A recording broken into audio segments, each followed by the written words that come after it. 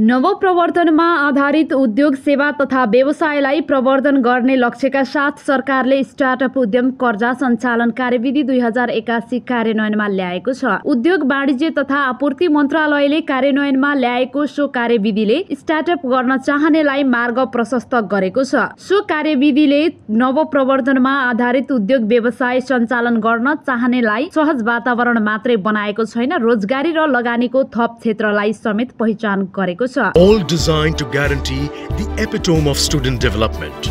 Parul University, a place where infinite dreams are fulfilled.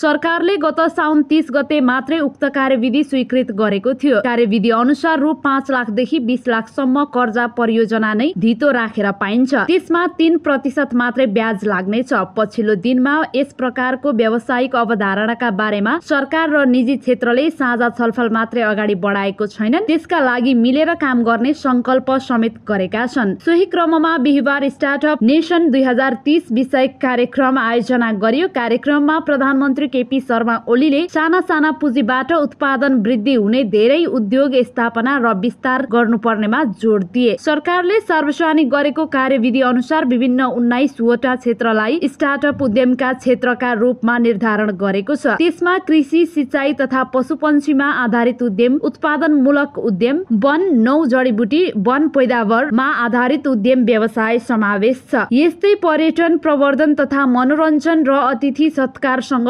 सम्बन्धित क्षेत्र विज्ञान प्रविधि सञ्चार तथा सूचना प्रविधिमा आधारित उद्यम पनि यसैमा समावेश छ। मानव स्वास्थ्य सेवासँग सम्बन्धित क्षेत्र शिक्षा तथा शिक्षण सिकाइसँग सम्बन्धित उद्यम सहज र सुरक्षित यातायात तथा पारवहन सेवा पूर्वाधार निर्माण कार्यसँग सम्बन्धित क्षेत्र विद्युतीय सवारी साधन तथा अटोमोबाइलसँग सम्बन्धित उद्यम स्टार्टअप समावेश छ। परम्परागत तथा ग्रामीण प्रविधि स्थानीय स्रोत तथा साधनमा आधारित उद्यम सार्वजनिक सेवा प्रवाह उत्पादन तथा सेवा प्रक्रियामा सुधारसँग सम्बन्धित उद्यम खानी तथा खनिजको अनुसन्धान र विकाससँग सम्बन्धित उद्यम पनि त्यसमा उल्लेख छ। घरायसी वा दैनिक जीवनयापनलाई सरल सहज सुरक्षित बनाउन सहयोग पुग्ने प्रकृतिको कार्यसँग सम्बन्धित उद्यम वस्तु वा सेवाको वितरण प्रणालीसँग सम्बन्धित उद्यम परम्परागत सेवा तथा उद्यमको पुनर्जागरणसँग सम्बन्धित उद्यम खाद्य प्रविधि तथा पोषणसँग सम्बन्धित उद्यम तथा फोहोर मैला व्यवस्थापनसँग सम्बन्धित उद्यमलाई सरकारले स्टार्टअपमा समावेश गरी आवश्यक प्रक्रिया अगाडि बढाएको छ।